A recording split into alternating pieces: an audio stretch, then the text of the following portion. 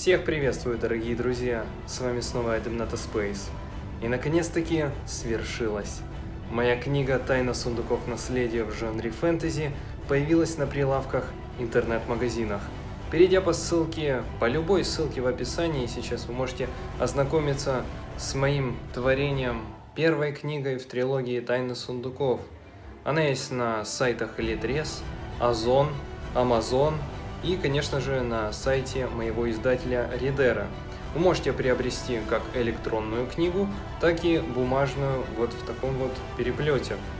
А, также хочется сказать то, что через несколько недель, буквально через недельки 2-3, также появится на Литресе возможность у вас приобрести аудиокнигу, где также присутствует музыка, написанная Кириллом Петровым. Оригинальный саундтрек полностью вы можете прослушать на моем канале в плейлисте The Chess Mystery OST. Ну что же, не буду затягивать данный видеоролик, лишь хочу поблагодарить всех вас, мои подписчики, за то, что вы так долго ждали релиз моей первой книги «Тайны сундуков», моего первого такого серьезного поистине творческого проекта. И я надеюсь, что вы ждете выход второй и третьей книги, когда ознакомитесь с первой. Э, жду вас в комментариях, в отзывах, например, на Литресе. Интересно узнать ваше мнение по поводу этой книги, так как я начинающий писатель. Вот, хотелось бы услышать ваше мнение, э, что вам понравилось, что запомнилось, и, естественно, ждете ли вы продолж... продолжения, ибо в этой книге все только начинается.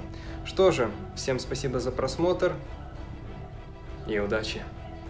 Также хотелось бы упомянуть то, что на всех этих сайтах на книге установлен возрастной рейтинг 18+.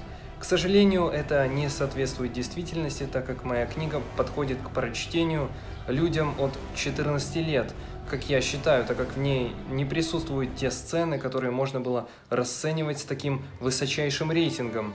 Давайте вспомним того же Ди Греймана, довольно-таки мрачное аниме-произведение, э, но у него рейтинг в большинстве стран 13+. Ну и почти то же самое можно сказать со всякими атаками титанов, которые там 15+.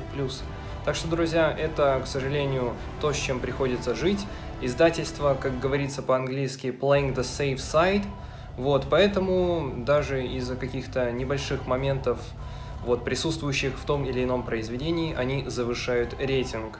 Так что, друзья, на это прошу не обращать внимания, потому что это довольно-таки несущественно. Так что все, бегите читать.